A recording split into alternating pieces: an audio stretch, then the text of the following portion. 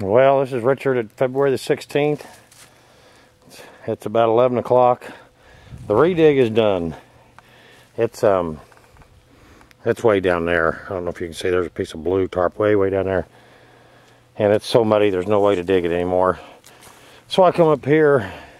Of course, I got all this all the way from here to the top of the hill. I ain't never touched yet, and it's more clay on the side of the hill. And I just got this one little ditch started right here.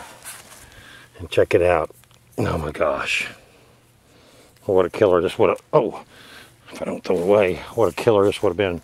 Right there at that tree stump, 20 feet around, this is where I said the repair shop was for the Sedalias.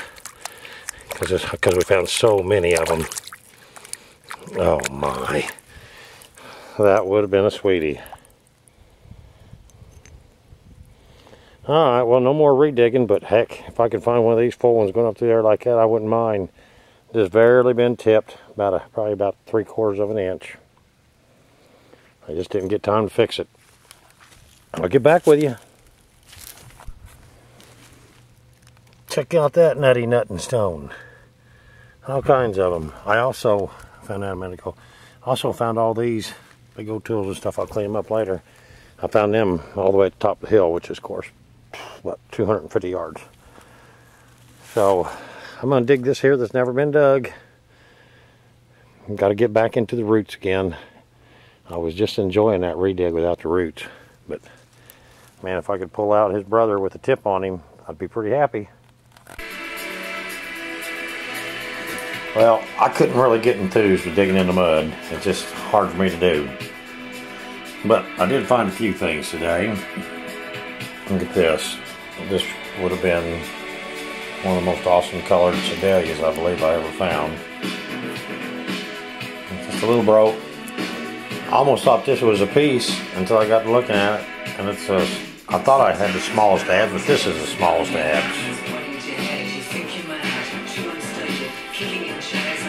Complete.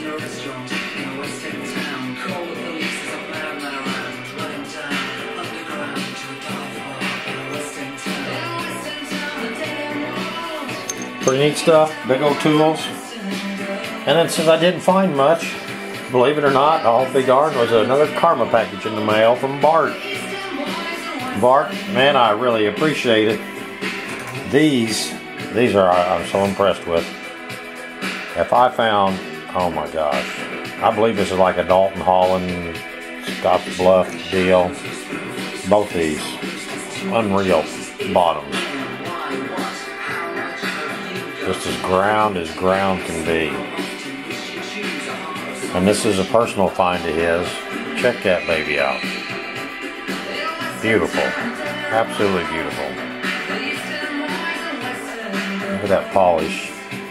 And then a little tool, another little tool, scraper tool, and then some other pieces of some of the nice material that they've got. Looks heat treated to me.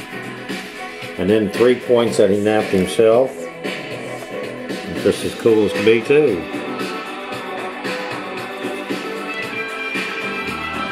Awesome work on these. A wild little guy. I love this Dalton. I mean, it's beautiful.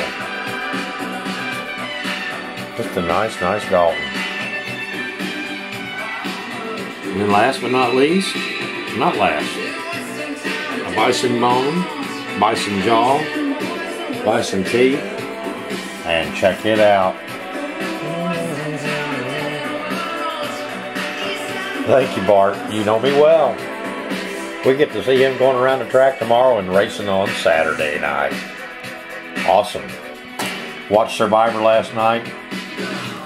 Not to be like Seinfeld, not that there's anything wrong with it, but I can't stand the gay guy, and my favorite one is the the Hawaiian girl. The one that told the other one to shut up.